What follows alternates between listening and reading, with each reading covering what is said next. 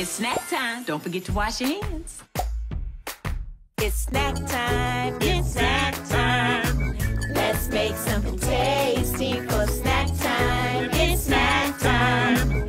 Everybody, it's snack time. Come on. All right. So today we've been talking about cause and effect. So I thought we would make a snack using one fruit that turns out two different ways. Uh, whoa. Whoa! Hi, Miss Tab. Hello there, Burnie. Hello there, Starla. What are we making, Miss Tab? I can't wait to hear all about it. I'm flipping out. Well, today we're gonna make some frozen sour grapes. Wow. So we will need clean, fresh grapes as well as some fresh limes. And make sure you have your grown-up slice them up for you, okay? Miss Tab, are you sure about this snack? The last time I ate a lime, it was so sour that my whole mitt scrunched up like this. Well, Burnie, you don't have to worry about that because this sour snack will be a delicious treat. Ooh, I can't wait. Are they ready yet?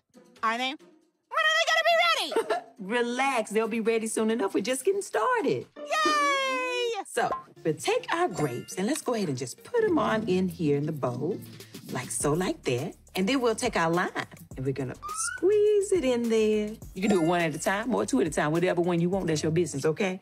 And then mix it all around so the juice gets inside of the grapes. That's why you slice them in half. That's what I'm talking about. Mix them up, Miss Tab. Really go for it. That's right, Starla. And then once they're all mixed up, put them in our pan here. Give them a little space on the tray. Because once they freeze, they can stick together. Will you look at that? They're gonna be so yummy. Yes, they are.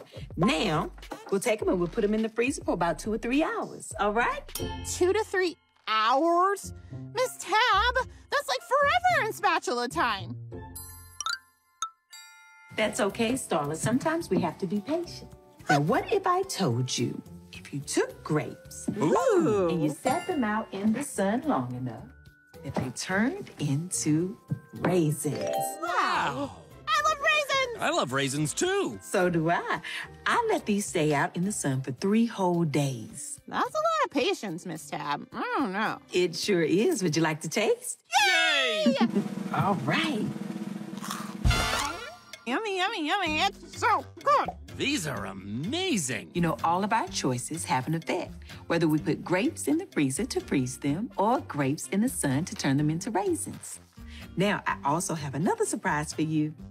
I love surprises. What's it gonna be? I don't know. I'm flipping out. Well, I already made some frozen grapes for us last night so that we could try them now. Yay! Yay! Here we are. Let's give them a try. Yummy! It's so good. Mmm.